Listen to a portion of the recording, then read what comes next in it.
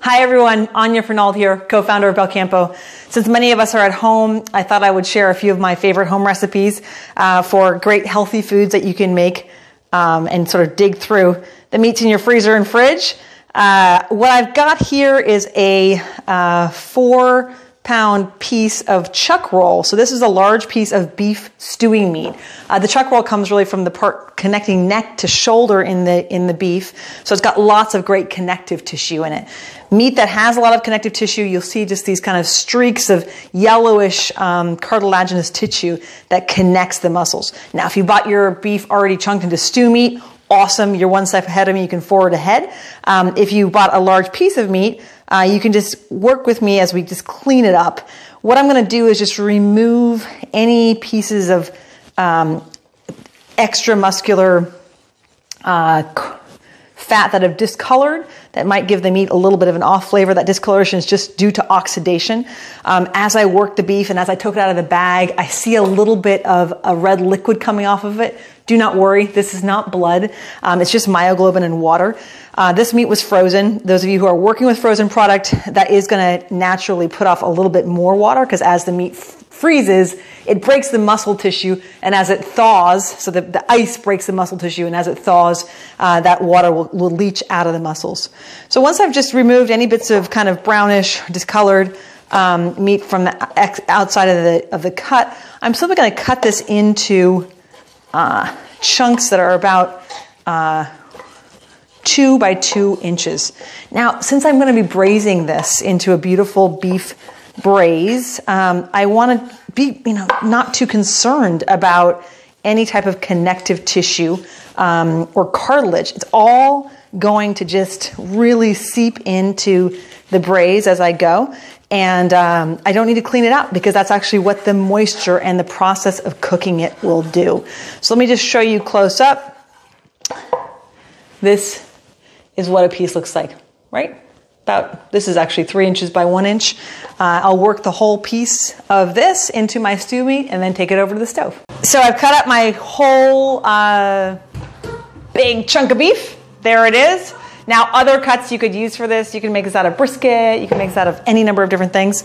Uh, and the key thing is just a, a cut with a lot of connective tissue that's going to render out and make it very, very tender. One thing I want to note is that big chunks of fat like that you don't want it on the stew meat you're just going to end up rendering it out and throwing it away. So i recommend you you do a quick visual scan for big chunks of fat take those off um, and we're going to take this over to the stove and sear this load of beautiful meat up. Okay so i have about a half a cup of oil in my large cast iron. I'm using olive oil for this. You can also use an avocado oil a ghee or tallow I'm just gonna space my meat here. I want to get a nice brown on this and just on two sides is fine. The browning is gonna help the chunks of meat really stay nice and intact as this meat gets braised for many, many hours. You can also do this without browning. The consistency will be more like a pulled pork if you do so. So I'm gonna work my way through this. Key thing here is don't overcrowd the pan. Put these guys in piece by piece and just wait till you get a nice brown on each side and then flip it over. So I'll show you for a few pieces here. All of my meat is browned and as I've been browning it like this, little bits of brown, I move it to a stock pot that I have ready to go where I'm going to be actually braising the meat.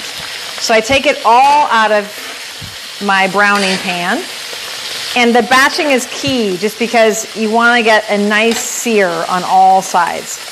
Now in this pan here, I have lots of little bits of brown meat that's stuck in there that's going to be really delicious.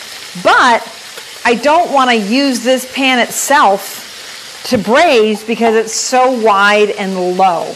And the wide and low pan is not ideal for the braising because you're going to get too much evaporation, okay? So I actually want to make sure that in the braising I'm in a high-sided pan that's deep that I can cover it with liquid. So to get all those yummy brown bits off the pan here, what am I going to do?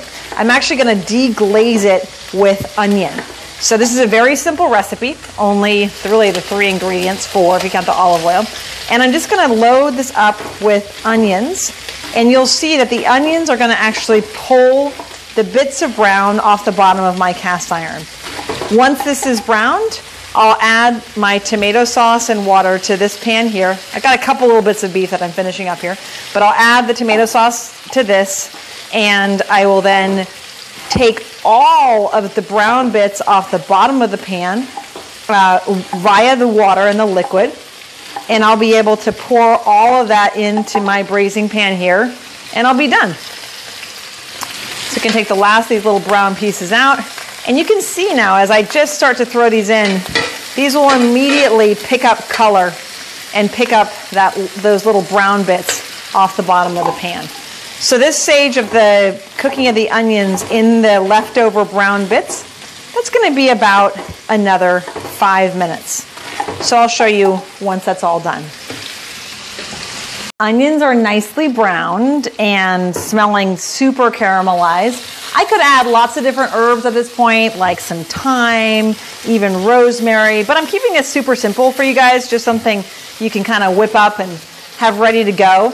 I'm gonna add my salt right now, and I'm adding a full two tablespoons of salt. Keep in mind how much meat I have there, right? Next up, I'm gonna add this whole jar of tomatoes. This is a tomato puree that I use, and um, you could also use a spaghetti sauce, although you probably want to correct for the salt, um, or just take canned tomatoes and puree them like in a Cuisinart. So I put this whole quart or so, yeah, of tomato puree in there. And then I'm also gonna add uh, four cups of water. So at this point, my pan is totally deglazed, okay? There's really no brown yummy bits left on the bottom. I've got all those onions in there, and I'm gonna take this liquid and pour it over the meat. So I'm gonna reunite the meat with all of its cooking mojo. Okay, there we go. Braise is ready. I'm gonna pop this into my oven now for a minimum of five hours and the very maximum about six hours and it's gonna get incredibly tender. I'll put the lid on it when it's in the oven and I'm gonna put it at 250 degrees. Were I to do this on the stove top, three hours would be sufficient because the heat would be a little bit higher. I'll show you when it comes out. Hi guys, so my stew spent six hours in the oven and just came out beautifully tender. What I did then is took five pounds of potatoes, peeled and halved them, and about 10 carrots, peeled them and chunked them and threw them in there.